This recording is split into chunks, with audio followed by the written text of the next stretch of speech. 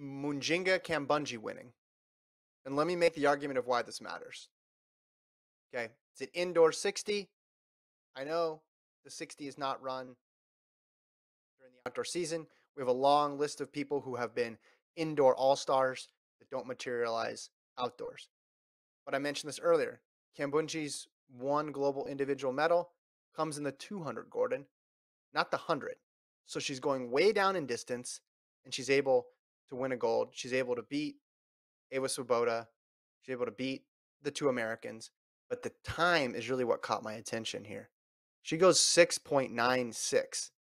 That's faster than Shelly-Ann Fraser Pryce ever ran. That's faster than Elaine Thompson Herah ever ran as well too. We look at seven seconds as a very significant barrier. So the fact that she's a really strong 200 meter runner combined with this new 60 PB, I think is a really good sign for her indoors. I want to see it in 100. I want to see how it how it shakes out. But I think she could enter that group of people. Now, if Thompson-Herah is running Thompson-Herah times from last year and Shelly-Ann's running the times that she ran last year, it's going to be tough.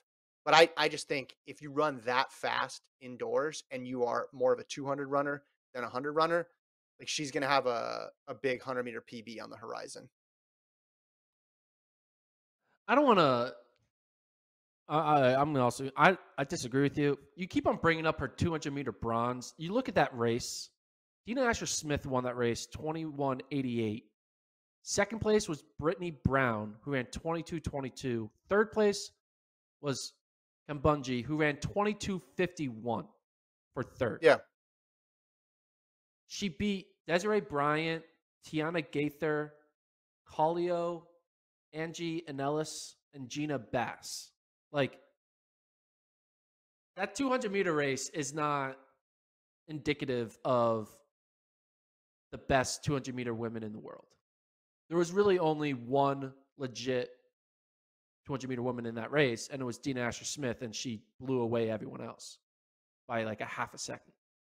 So, all right, well then let's just look at last year. Let's look at last. I don't look at her let's, as a good 200 meter runner. She's she's let's look at her PB okay. in the 200 is 22.26. We just had six. Abby Steiner run faster than that on an indoor track. So she was sixth at the Olympics in the hundred. Let's just go last year then, because you'll agree people were good last year, right? Yeah, people were good last year. Okay, six sixth in the hundred, seventh in the two hundred, and now she's running six ninety six. Her hundred meter PB is only ten ninety four. Again, you can't draw a straight line sometimes from sixty to hundred, but six ninety six is just going to equate to a much better mark than that outdoors. I just think that the women's sprinting landscape has changed dramatically. With uh, obviously with the two Jamaicans, with uh, Sha'Carri, with the um, what's her name? Uh, oh, my, someone just rang my doorbell. Hold on, I'll, hold that thought. You carry that thought. I just think the 200 meter.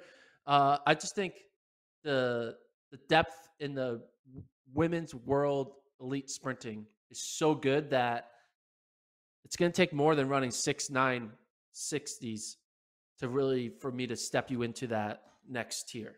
In my opinion, I gotta go get the doorbell. Right. Hold on. Gordon's going to answer the door. He doesn't think anything was was impressive here. So so far he thinks Holly winning doesn't matter. Jakob losing doesn't matter. Kambundji winning doesn't matter.